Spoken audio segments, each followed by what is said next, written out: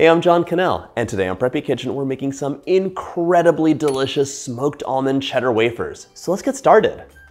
First off, grab eight ounces or 227 grams of a nice sharp cheddar, and we're gonna grate it up. We're making basically the best crackers you've ever had in your life. They're cheesy with an amazing hit of savory smoked almond deliciousness. They're great for parties and really cool gifts too. I like making big bags of these and handing these out. I'm just gonna warn you though, it'll be gone in a flash. And by the way, this just so happens to be a recipe from the winter chapter of my book. So if you have a copy, grab it, open up to page 115 and bake along. Our prep work is all done. Now grab your food processor. The rest of the work is gonna happen in that.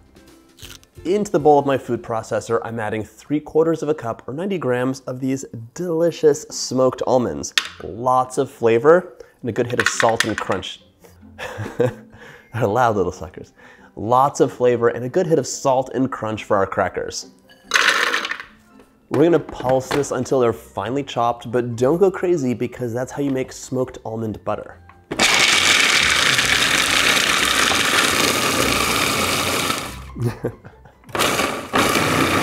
All right. Just to show you the texture, I like a nice fine almond meal. So I have a little bit of crunch left over, but no big pieces. So I'm me, I'm using the scale. You can just measure everything right into the bowl though. Now we want one quarter cups or 150 grams of all-purpose flour. These crackers are super easy to make, but the other nice thing is you can make them so far in advance and just freeze them. Freeze the log, put it into the fridge when you know you're gonna have a party or people over, and then slice and bake. There's like no effort and they're fresh and delicious. Right now I'm adding two teaspoons of cornstarch and while cornstarch is horrible to touch or even think about touching, it's great for baking. It's gonna give you a really nice tender crumb and just help these to be the perfect cracker. But two teaspoons is all you need. Oh, just gonna add an extra quarter teaspoon of cornstarch since I think that's what ended up on my apron. Speaking of quarter teaspoons, one quarter teaspoon of cayenne pepper. This will give us a really nice little hit of heat. You can add other spices that you really love or other types of chili, or even up this measurement if you want it to be nice and hot. And our cheddar is a little bit salty. The almonds are definitely salty, but one quarter teaspoon of salt will just give you the perfect balance. Now we're gonna add our eight ounces of shredded cheese in. This gets pulsed up before a final delicious ingredient. Before I pulse this up, I'm gonna cube half a cup or 113 grams of unsalted cold butter. This goes in next, but I just wanna be ready. All right, pop that top on. And we're gonna process this until it's nice and combined.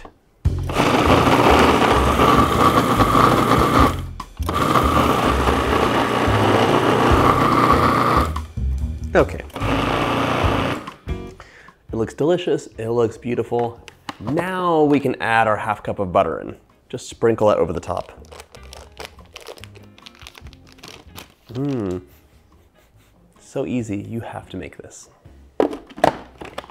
We're gonna pulse this up until the butter's incorporated and we have what looks like kind of large breadcrumbs.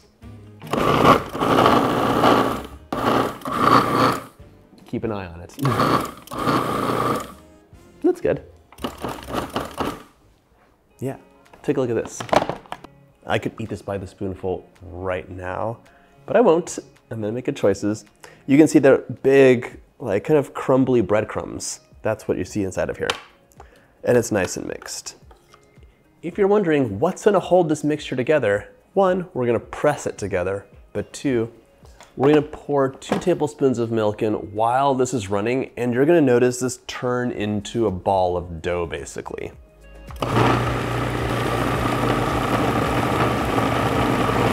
So fast. One,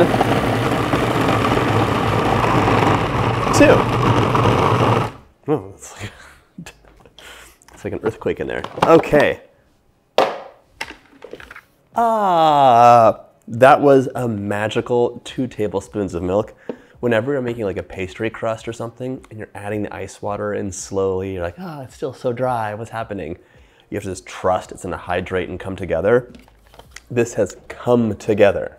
Our food processor is done. Thank you for your service. We're gonna put it away and do the rest by hand. Our cracker dough is single and therefore vulnerable. It has been dumped from the island. okay, dump the dough out right onto your floured surface. If I could manage an Australian accent, I would have in that moment. But it's important to know your limits.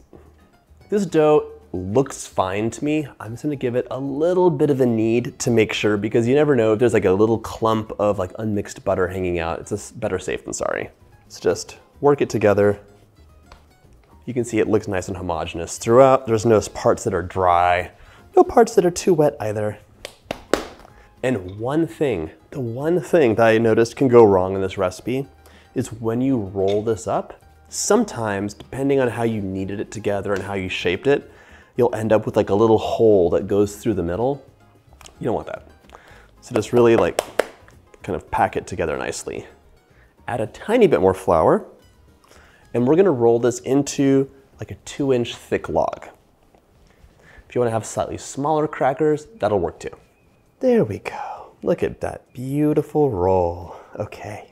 Grab a little rimmed sheet pan. You have options here in this recipe. The book calls for us to roll these in poppy seeds. I love the way poppy seeds taste and look. It gives the wafers a beautiful bit of definition and I think just really makes the recipe shine. But you don't have to. Some people don't like poppy seeds or don't want the chance of them getting stuck in your teeth. So I'll give you an alternate as well. Just about a quarter cup. Give it a shake. Oh, so satisfying. Now you're gonna take one of your logs and just roll it gracefully with confidence in those poppy seeds. Press gently and roll. Look at that. That's all you needed. Just to see, let's use some white sesame seeds. Oh my gosh. I didn't think they were gonna explode like that. Anyways, roll in the sesame seeds. Cut that paper core. You can wrap your dough either in plastic or parchment paper like I am. I'm only chilling this for two hours. I'm not concerned about freezer burn. If you wanted to make this way in advance, like a week or so, wrap it in plastic, wrap it in foil. Be extra careful. Now, plop that into your paper towel core, and now this is gonna chill for at least two hours in the freezer. You could also have this overnight or much longer. It'll keep for a long time. When we come back, we're gonna slice them up and bake. I was about to try and squeeze both of these into this paper towel core when I remembered I have a baguette pan. If you happen to have a baguette pan, one, mmm, delicious baguettes at home, but two, also perfect for storing cookie rolls in the freezer. So this will freeze with a nice round bottom. Ah, amazing. It's like an extra reason to get a baguette pan. In you go. Towards the end of your chill time, you're gonna set that oven to 350 so it's nice and cozy. And I have to say, these guys did not actually chill for a full two hours. They feel pretty firm, so we're just gonna go with it. All right, so you have a little bit of a nub here. We're just gonna cut that off. I will be baking it and I will be eating it, but this is my chef's treat. Here we go. The rest of our slices are gonna be about an eighth of an inch thick. Use a nice sharp knife and just get to work. Just try and be consistent with your slices because if one is super thin and the others are fairly thick, that thin one will burn while the other ones are perfectly cooked. And you can see how perfectly round this is because of the way we stored it. I'm also slicing just a few wafers from my sesame rolled log. I want to do a taste test, but this can go back into the freezer and just hang out until the next time I have people over or want a delicious snack. Somewhat optional, but I'm piercing the center of each wafer with a fork. It'll get some air right into the center and give you a slightly more even bake, but honestly, I've done it without and it's fine. These go into the oven for 14 to 17 minutes at 350 or until the bottom is golden brown. Then I'll tell you what to do next. You're not done then. I gave my cheddar wafers 16 minutes in the oven and they look golden and perfect don't leave them here. You never want to leave crispy things on the baking sheet. Transfer to a wire rack. This, by the way, is the same trick I use for homemade waffles. You don't want any moisture to create steam and make things soggy, so transfer to a wire rack as soon as they're done cooking. I've got to say, I love the way the poppy seeds look, but I really like the sesame seeds too because it's a nice contrast.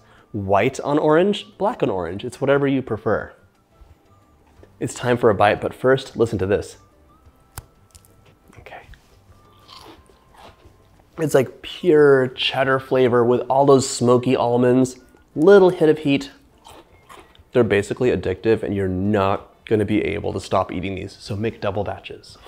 I hope you get a chance to try this recipe from my book. And if you like this video, check out my book playlist.